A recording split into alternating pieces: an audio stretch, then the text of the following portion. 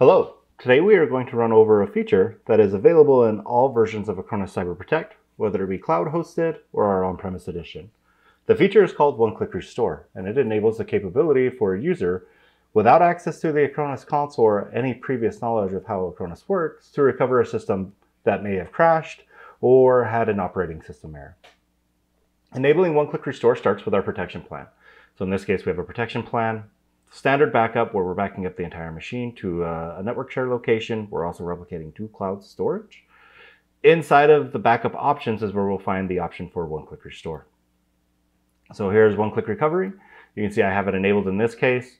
You can password protect this. So if you wanted to pre prevent a user from doing an unauthorized restoration, you can password protect it, lock it down, and then only give out that password as necessary. In this case, this plan already has it enabled and has been ran on the device. One-click restore at its heart is a modification of something called the Acronis Startup Recovery Manager. So if I come and look at the machines themselves, for example, my workstation that I have here and look at the details, if I scroll down a little bit, you'll notice that I have the Startup Recovery Manager enabled. This is turned on automatically by running the protection plan. So anytime a protection plan runs, it updates and makes sure the startup recovery manager is running. And then the one-click recovery scripts that are ran on top of the recovery manager are updated to include any of the storage locations that, that are supported. In this scenario, I've got a VM, in this case, this workstation 2, that I've already taken the, the time to, to power off and boot to one-click restore. The process is very straightforward, but to save us time, a quick summary is during post, you'll see a new prompt for pressing F11. F11 then allows it to load into the one-click recovery script. When we're inside of here, I can see three or four different options. So recover the, the machine from the latest backup. It knows where the latest backup is stored at, so the user doesn't have to enter in credentials or any information such as that. I can select the backup that I want to recover. So maybe I need to go back further in time. My backup may have two or three different recovery points inside of it. I may want to choose one of those other recovery points. So this gives you that option. Or we're doing kind of a different style of recovery where I don't want to pull back that exact same backup. This allows me to go into the backup console and then select manually the process of the backup. And then if someone gets into it on accident, there's a reboot option here. In this demonstration, we are pulling from a network share. One-click recovery does support three different styles of storage locations. One of them would be what we call the Acronis startup, or excuse me, the Acronis secure zone. It's a hidden partition local to the machine. That would be the fastest mode of recovery. It does require disk space on the machine to store that. Network shares are supported, so in this case, an SMB share, and then the Acronis Cloud is supported.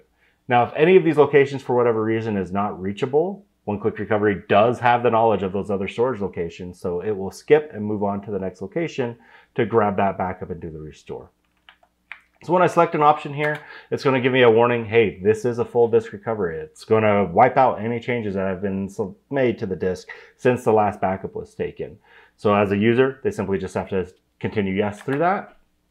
What's going to happen is now we're going to see a couple of screens pop up here. So it's going to start the actual agent in the background in a pre-boot style. So this is all loaded into memory here.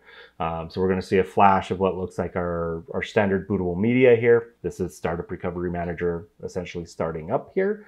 Uh, but then what will happen is it'll automatically kick off that recovery. So we'll start to see a progress bar go across here. Um, so here's a boot media. If you've used our software before, you're seeing, you're used to seeing that. Now it's listing all of the backups inside of there so it can find the most recent one. And then from this point, we'll start to see a progress bar. This does estimate time. Um, so you'll see time kind of go very quickly here. Um, this estimated time will jump up quite a bit here. Keep in mind, this is an estimate, right? So some people would call it Windows time. In that scenario, you'll see the time fluctuate. It'll sit at zero to 1% for a while as it's learning essentially what we're recovering here. But once we get past and into those higher percentages, you'll see the time dramatically re reduce here. We're not going to wait for this entire thing to recover. Uh, you know, depending on how large your backup is, you're going to have different timings inside of there. But this was a quick demonstration of the one-click recovery functionality that's now available in, in the Acronis products. This gives you that capability of allowing your users to be able to do restores, self-service restores on those machines in a full machine method without having to find a USB or know pathways or, or passwords to, to storage locations. Very simple and easy to use. And we thanks for the time. Have a great day.